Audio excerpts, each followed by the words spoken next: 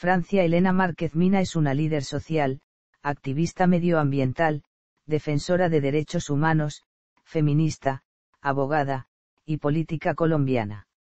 Desde el 7 de agosto de 2022 es la vicepresidenta de la República de Colombia.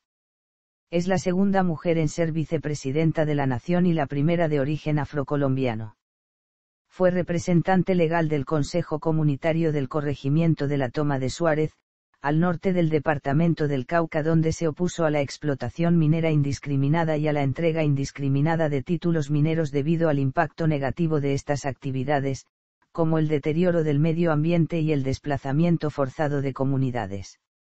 Esto le valió amenazas y atentados contra su vida, pero también el reconocimiento internacional como defensora de derechos humanos y del medio ambiente ha recibido varias distinciones por sus actividades sociales y ambientales, entre ellas los premios Goldman de Medio Ambiente y Joan Alsina de Derechos Humanos.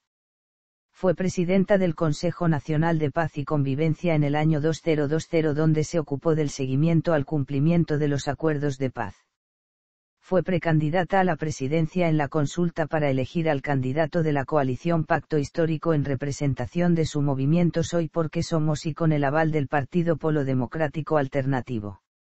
En la votación obtuvo el segundo puesto con más de 782.000 votos y el 23 de marzo de 2022 fue anunciada como candidata a la vicepresidencia como fórmula de Gustavo Petro para las elecciones presidenciales de 2022, donde finalmente fueron electos. Biografía. Juventud y Estudios.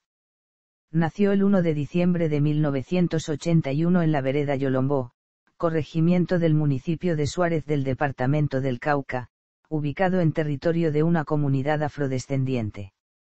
Su infancia, según cuenta, estuvo marcada por pasar tiempo en casa de mis abuelos maternos, otro tiempo con mi mamá y el resto con mis abuelos paternos. Su madre es partera, agricultora, minera. Su padre, agrominero y obrero. A la edad de 16 años tuvo el primero de sus dos hijos que crió como madre soltera. Durante su adolescencia trabajó como minera de oro artesanal en su municipio y como empleada doméstica en la ciudad de Cali. Márquez se graduó de técnico agropecuaria en el Servicio Nacional de Aprendizaje. En 2020 obtuvo un título en Derecho de la Universidad Santiago de Cali. En 2021 inició una especialización en escrituras creativas en la Universidad ICESI. Activismo. Activismo medioambiental. Defensa del río Ovejas. Oposición a la minería indiscriminada. Marcha de los turbantes. Otras movilizaciones. Participación en los diálogos de paz. En diciembre de 2014, Márquez Mina viajó a La Habana para participar en los diálogos de paz entre el gobierno de Juan Manuel Santos y la guerrilla de las Fuerzas Armadas Revolucionarias de Colombia, Ejército del Pueblo, como víctima en la quinta delegación. En este proceso participó ante la mesa de los diálogos de paz con su relato sobre la forma en la que el conflicto armado político y económico ha afectado históricamente de manera desproporcionada a las comunidades afrocolombianas, y de manera específica a las mujeres negras. Asimismo, habló sobre la necesidad de garantizar la participación efectiva de los pueblos étnicos en el proceso para lograr la paz estable y duradera.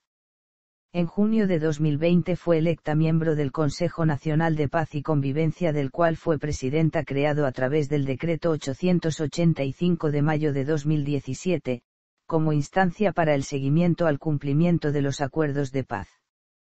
Amenazas contra su vida.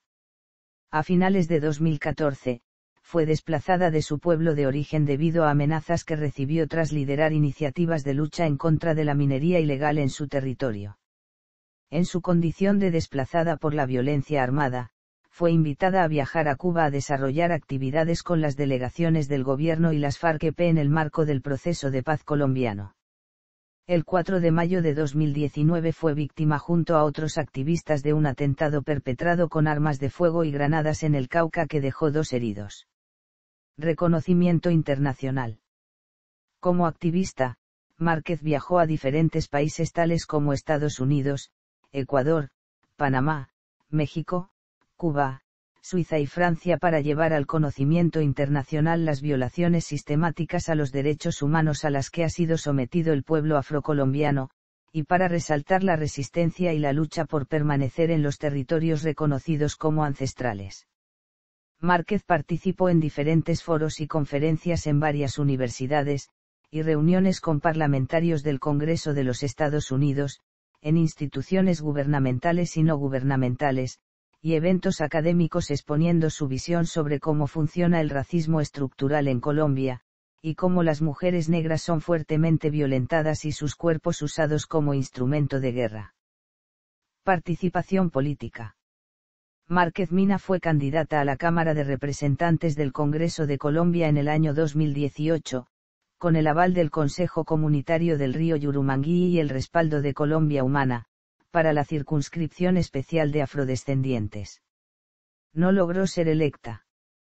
Elecciones presidenciales de 2022.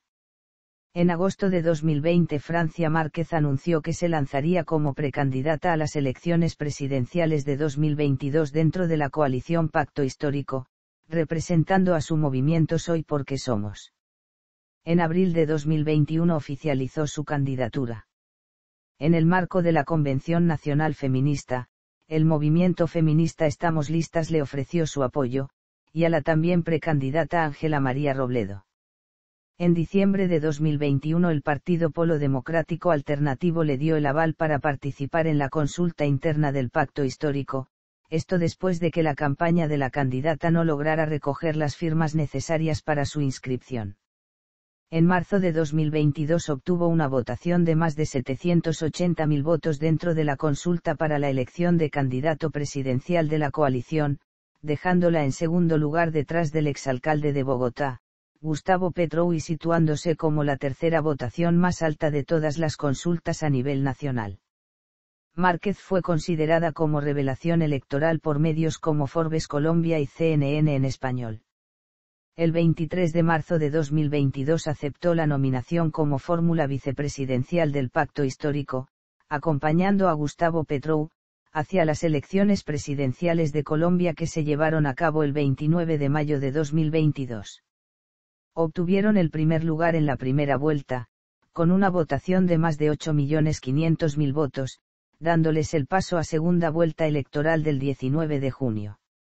Finalmente, con más de 11 millones de votos, vencieron a la candidatura de Rodolfo Hernández y Marelen Castillo en el balotaje. Durante la campaña se popularizaron algunas frases de Márquez como, vivir sabroso, frase de filosofía de vida del pueblo afrocolombiano que, según dijo, se refiere a, poder vivir sin miedo, en dignidad y con garantía de derechos, y que fue en ocasiones mal interpretada por sus detractores como referencia a, vivir cómodamente y sin esfuerzo, esta frase terminó convirtiéndose en uno de los lemas más utilizados en las últimas semanas de la campaña presidencial.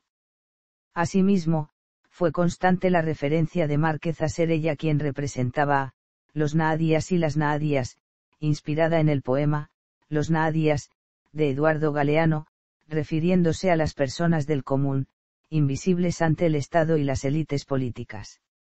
Igualmente Márquez pronunció en varios discursos la frase, hasta que la dignidad se haga costumbre, que además incluyó en su juramento de posesión al cargo a la vicepresidencia el 7 de agosto de 2022.